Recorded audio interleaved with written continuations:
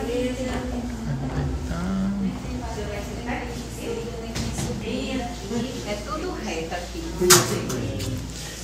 eu ver aqui a senhora, boa tarde. Deixa eu ver aqui.